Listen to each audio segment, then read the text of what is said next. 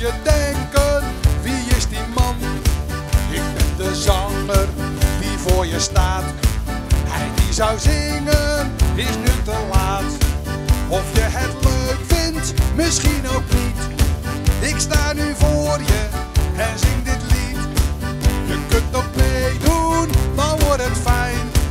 Als je het leuk vindt met dit refrein.